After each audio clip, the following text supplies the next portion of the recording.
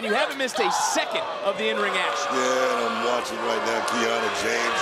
She's looking to send a message to Roxanne Perez here tonight. Uh, James already with welts forming all over her body from the physicality in this match. Perez doing the same. And the bottom line, though, is James is just jealous of Roxanne Perez. That's how we've gotten to this juncture. You know, jealousy. No, I wouldn't call it jealousy, Vic. I, I would say seething with envy of the success of Roxanne Perez. This is a kid, this is a kid, Roxanne Perez, who's made so many history-making moments, man. Talk about using your environment to your advantage. And when I say jealousy, Perez has heard Kiana James call her the golden child. There seems to be some bitterness oozing out of Kiana James. But Roxanne Perez looking to put it all to bed right here, Oh, yeah. right now. Not just the golden child, Vic. She, she's the prodigy. She's Roxanne Perez, man. Ooh. Again, it is all legal. Falls count anywhere in this Devil's Playground match. Ooh. What I'm talking about right You ever there. have a piece of the fence broken over your back? I have not. I have not. Uh-oh. Looking for that side Russian leg sweep.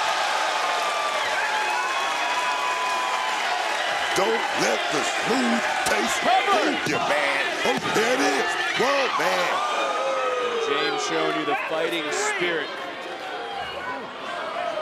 Teetering are both these women. I mean, the Chase U student section, who may be standing for that tag team matchup later tonight, their feet in this moment. Perez, one more time. Oh.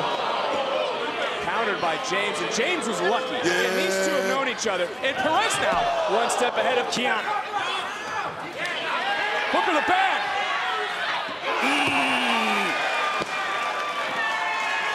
Turnabout's fair play. And Perez now. We're going to put the exclamation point with some Pop Rox. Perez.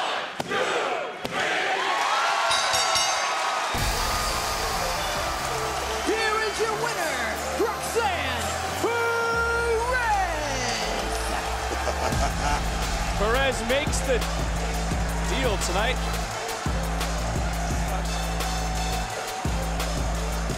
The, the brick I book. love it. I love it.